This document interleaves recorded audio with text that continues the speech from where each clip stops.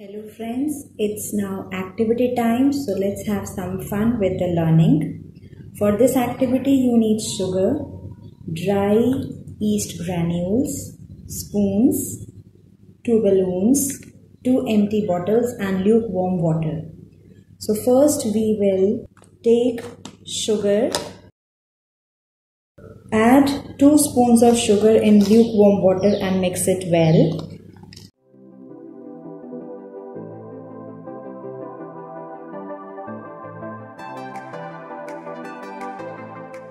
Now let us pour this water in these two bottles.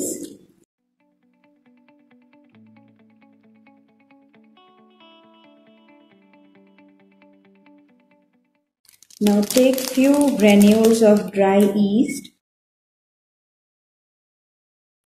and put them in one of the bottles and in another one we will not put any of the granules. Cover both the bottles with a balloon on the top.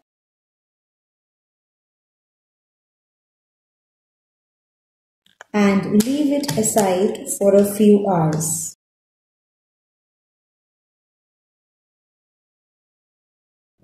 Now let us record the observation in both the bottles. In this particular bottle where sugar solution and yeast was added, yeast respires anaerobically as it feeds on sugar as a result, it produces carbon dioxide gas, which is accumulating here in the form of the bubbles. Carbon dioxide gas has also accumulated in the balloon, so it has started inflating. No such bubbles are present over here. So you can just see the froth which is rising on the top of the bottle. This process of Anaerobic respiration is also called as fermentation. Carbon dioxide and alcohol are produced as a result of this process.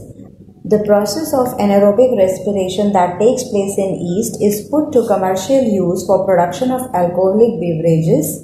It is also used in the baking industry to make breads and for fermenting idli and dosa batter. Thank you and hope you enjoyed the activity. You can also do this activity at home.